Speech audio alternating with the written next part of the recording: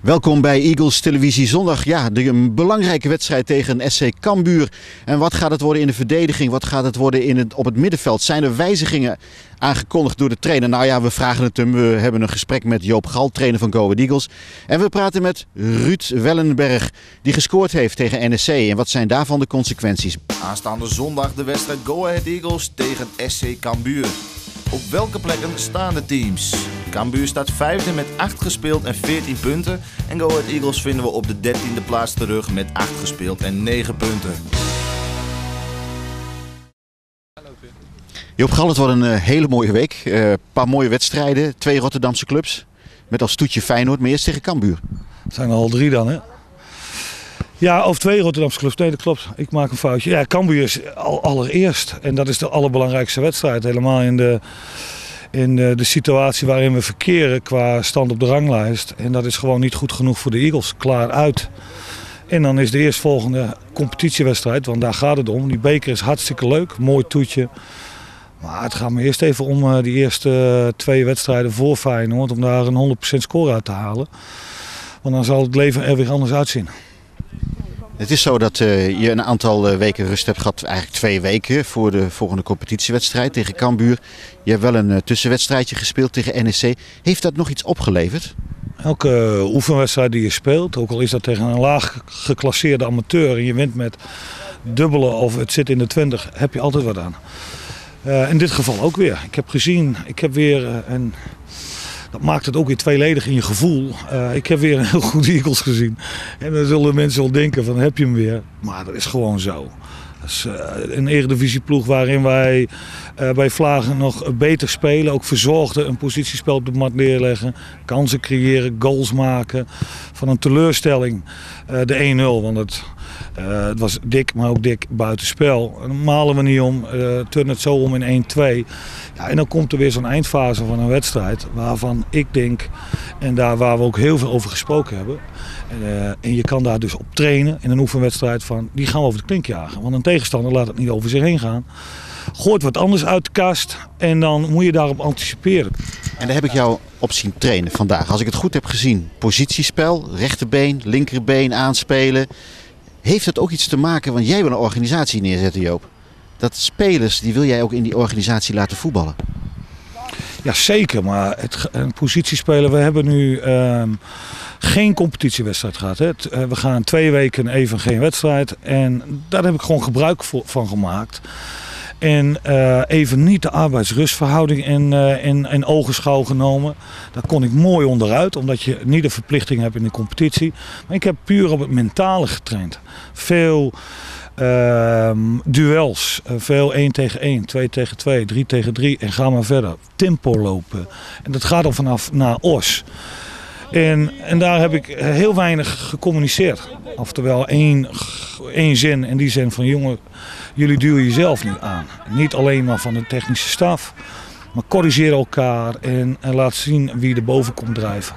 En je mag niet afhaken. Positiespelen zitten er nu vanaf vandaag voor het eerst weer bij. Maar dat is puur handelingssnelheid. Handelingssnelheid, het moment al zien, vinden en je niet onnodig onder druk laten zetten.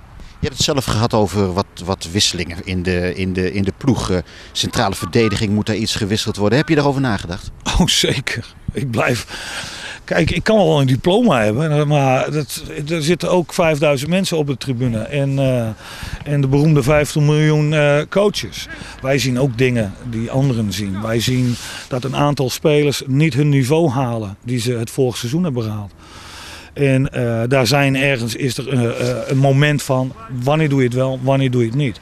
Als je wel iets van plan bent, is er aanvoer. Heb je genoeg in zo'n laatste linie? Als we dat als voorbeeld moeten stellen, is er genoeg wisselgeld daarin. Nou, en soms als je wat van plan bent, dan raakt er weer een geblesseerd. Of kan je even niet dat doorvoeren wat je graag wilt. Dus het blijft dan even een puzzel. En dan hoop je maar dat door het vertrouwen aan zich, daar gedijen gewoon mensen ook mee maar ook voetballers, dat dat uh, terugbetaald wordt. Ga je iets doen in die verdediging? Dat zou kunnen. Ga je iets doen op het middenveld? Dat zou kunnen. Ik denk dat Ruud Wellenberg eventueel wel een kans maakt. Ik zag hem in het groene hesje voetballen. Kan dat kloppen? Is dat een van de gegadigden op het middenveld? Uh, Wellenberg uh, heeft nu uh, ongeveer anderhalf wedstrijd bij Jong Heracles gespeeld. Dat ging sowieso. Ik heb hem uh, met voorbedachte raden de hele wedstrijd tegen NEC laten spelen op uh, 10. En ik vond hem uh, dat heel goed invullen. Natuurlijk kom je, als je heel weinig gespeeld hebt en je komt van een amateur, dat je ergens iets tekort komt. Dat is, lijkt me vrij logisch. En, maar hij heeft het prima ingevuld. Het is een jongen die ongelooflijk veel beweegt. Heel lastig kan zijn dan voor een tegenstander. En de klik met Kolder was in die wedstrijd ook aardig. Hij uh, verschaft zich nog een aantal kansen. Maar door zijn handelingssnelheid, die nog iets te laag is, denkt hij nog iets te veel na. En in de tweede helft doet hij dat dan niet en scoort. En uh, hij maakt een behoorlijke stap in die wedstrijd. En allemaal één zwaluw maakt natuurlijk geen zomer. Maar ik denk wel dat uh, Ruudje Wellenberg een, uh, snel een keus kan zijn. Je neemt hem in ieder geval mee in de overweging? Absoluut. Zondag dan de wedstrijd tegen Cambuur. Go Eagles, uh, ja, het, het, is volle bak uh, zondag uh, Cambuur. Zou je zeggen, ja, die moeten we kunnen pakken, maar zo makkelijk is dat niet. Nee, maar dan kom je weer op zo'n cliché-opmerking dat iedereen van elkaar kan winnen in de Jupiler League. En dat, zal Alle clichés zijn waar, Joop. Oké, okay, maar, maar de meeste Jupiler League-wedstrijden worden ook wel eens beslist op die strijdvader, strijdbaarheid en, en mentaliteit. En, uh, en, mentaliteit is een kwaliteit. Daar kan je ook op trainen, is trainbaar. En daar ben ik nu de laatste twee weken mee bezig. En als we dat stapje extra maken, plus het voetballen, hoe we kunnen voetballen, dan zijn wij echt een ploeg die heel moeilijk te verslaan is. Afgelopen week heb jij gespeeld tegen NEC. En heb je een hele wedstrijd gespeeld op de nummer 10 positie. Hoe beviel je dat? Uh, ja, dat beviel me eigenlijk wel prima. Dat is eigenlijk uh, de positie die ik, uh, ik eigenlijk altijd al gespeeld heb. En, ja, en waar ik ook het liefst speel eigenlijk. En, wat, wat, is de invulling voor jou, nummer 10? Ja, ik, ik, ik, probeer zoveel mogelijk om de goal te komen, het spel te verdelen. En ja, gewoon op zoveel mogelijk plaatsen zeg maar, het spel te verdelen. Eigenlijk links, rechts. En ja, voornamelijk dicht bij goal te komen is eigenlijk het belangrijkste. Was jij, was jij tevreden met je optreden? Ja, ik was wel aardig tevreden. Ik had nog gescoord. Ik had er nog alleen moeten scoren.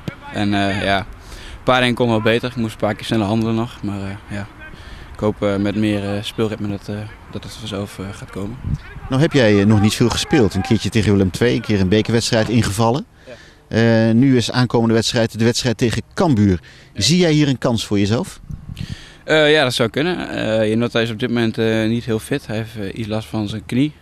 Er zit wat vocht in volgens mij. En ja, op zich gaat het op dit moment wel aardig. Maar ja, ik weet niet wat de trainer wil. Dus.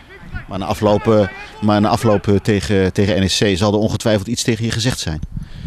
ja, er werd gezegd inderdaad dat ik goed gespeeld had. Ook een aantal medespelers. En de trainer zelf ook. Had ook in de krant gezegd dat ik dichter bij een baaselijk ben. Dus ik, ik, hoop het. Maar dat zullen we zien. Ik, ik zou het niet weten. Als je even kritisch naar jezelf kijkt, hè? Wat, wat, wat zijn jouw goede punten, wat zijn jouw minder goede punten? Mijn goede punten zijn denk ik mijn paas en mijn overzicht, inzicht, denk ik. Ja, en ik probeer vaak heel erg bewegelijk te zijn op het middenveld om de spits heen. En ja, mindere punten zijn toch wel soms nog mijn handelingssnelheid. Ik moet soms iets beter handelen en kijken wat er, wat er achter me gebeurt. Iets beter kijken soms nog. En ja, soms wat onrustig nog. Daar ben je nu hard mee bezig in de training? Ja, zeker.